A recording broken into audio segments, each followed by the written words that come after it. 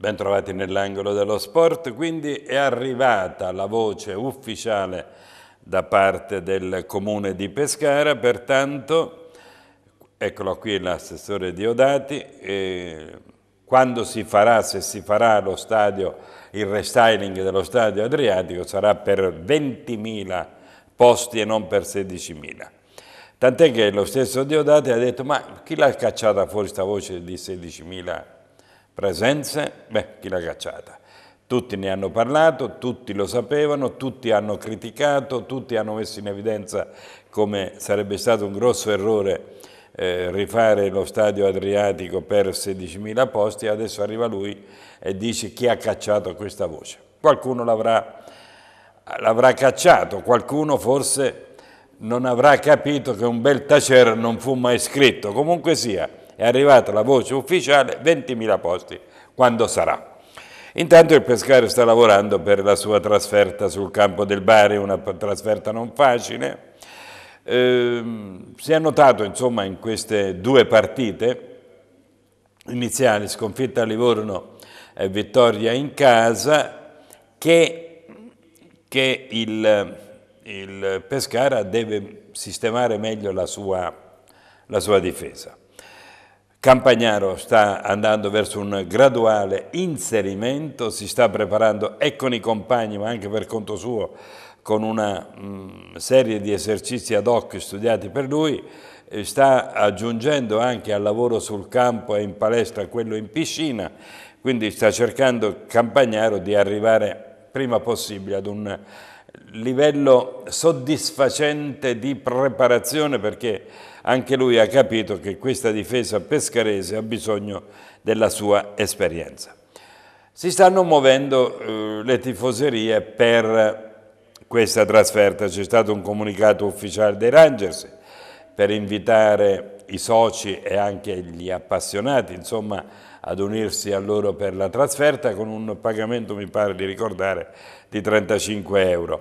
Il concetto è questo, si sta notando un risveglio della tifoseria pescarese. Sarebbe opportuno che la Pescara Calcio approfittasse di questo nuovo clima, di questa sensazione che comunque è tangibile, di questo risveglio dell'interesse della tifoseria verso la squadra per poter riaprire dei dialoghi costruttivi.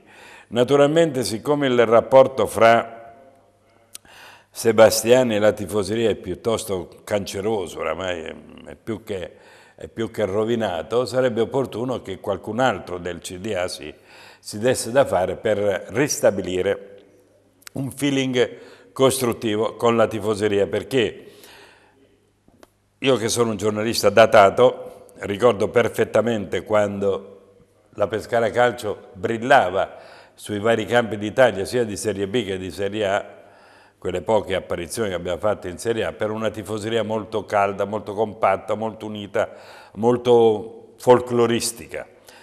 Poi ricordo i treni, ricordo le carovane, ricordo momenti di esaltazione collettiva davvero, davvero eccezionali. Tutto è andato spegnendosi quasi nell'indifferenza generale. Adesso c'è questo piccolo risveglio, c'è un fuocherello che si sta accendendo, quindi bisogna alimentarlo. Chi è capace all'interno del CDA della Pescara Calcio di poterlo fare? A me sembra che ci siano due nomi possibili soltanto, Gabriele Bancoschi e Danilo Iannascoli. Datevi da fare, da voi dipende, perché ricostruire un rapporto, un feeling con la tifoseria significherebbe, a mio modesto avviso, ricreare le basi per una eh, rinascita proprio dello spirito eh, biancazzurro.